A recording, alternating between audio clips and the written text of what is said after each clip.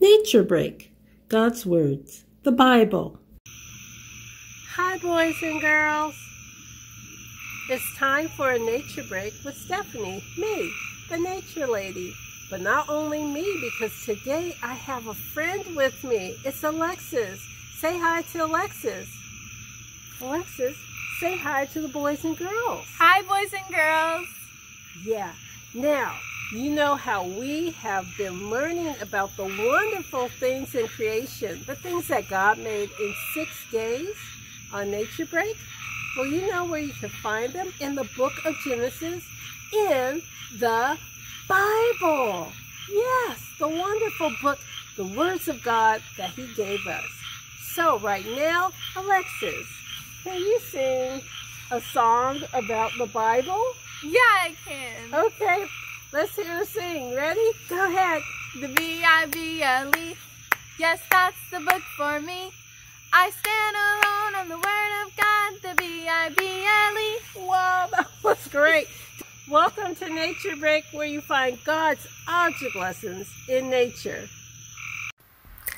Our Father in heaven is the source of life, of wisdom, and of joy. Look at the wonderful and beautiful things of nature.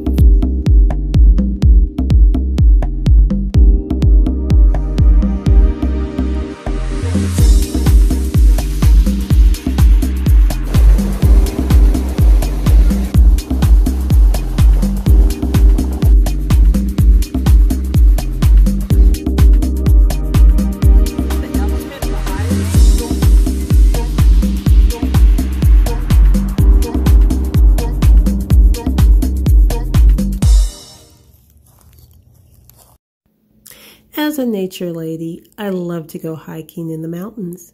And every once in a while, I'll see a sign that says, Be aware, do not feed the bears.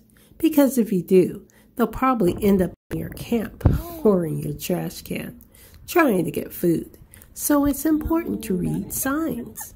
But the most important thing to read is the Holy Bible. It's God's Word to us. The Bible has instructions to live a better life and to show love to God and man. Alexa did a wonderful job singing the Bible, the B I B L E. Just like the word Bible, each letter can tell us about God, like the letter B. The letter B stands for big.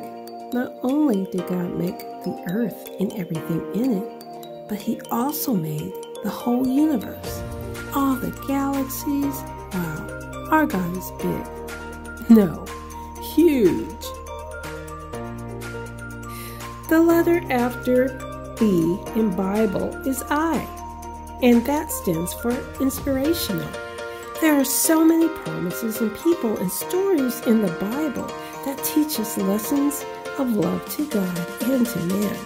One of my favorite stories is about Jonah and the big fish that swallowed him. If you want to know more about the story of Jonah, you have to read your Bible.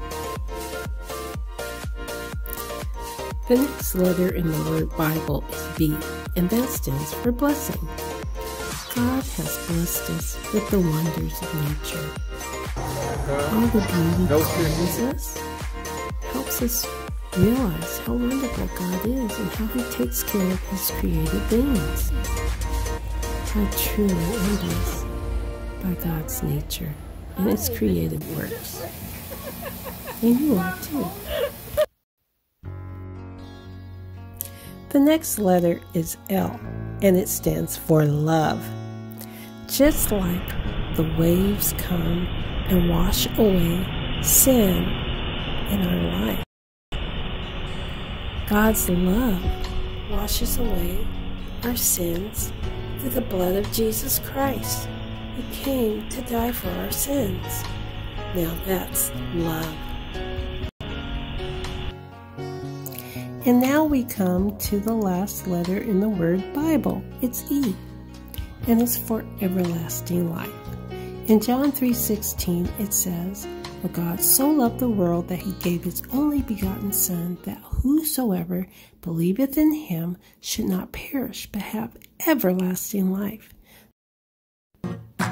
Well, boys and girls, I sure would like to have everlasting life in heaven with Jesus. Don't you? Well, I'll see you next time on Nature Break. Blessings.